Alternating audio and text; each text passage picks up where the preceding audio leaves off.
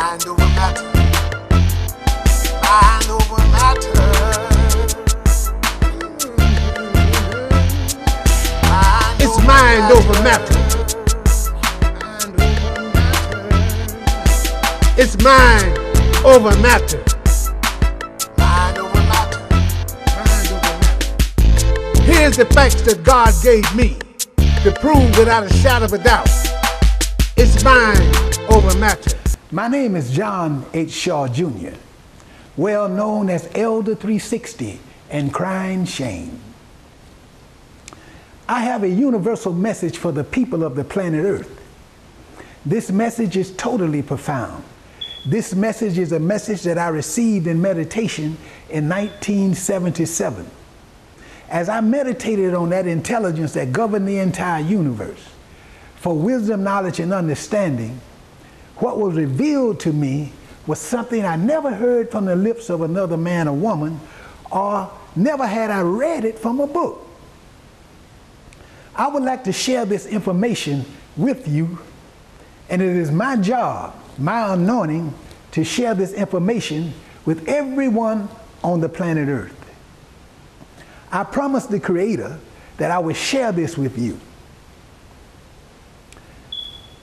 God revealed to me the only force in the universe that make things manifest, and I will reveal that to you. God revealed to me the only law in the universe that makes everything in the universe repeat the same basic patterns over and over again. And you will get a chance to have this revealed to you. And God has shown me that there's a law that automatically make us prepare the things for ourselves to reap exactly the same time we create them on another, whether it's positive or negative. We will talk about three entities. The willpower, which causes all things to manifest. Vibrations, well, not vibrations at this time, but that'll be in a, in a later segment. We'll talk about the law of repetition and the law for every action, there is an equal and opposite reaction.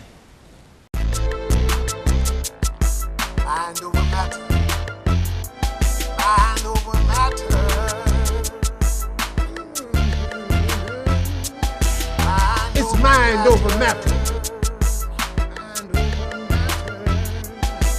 It's mind over matter. Mind over matter. Here's the facts that God gave me to prove without a shadow of a doubt. It's mind over matter.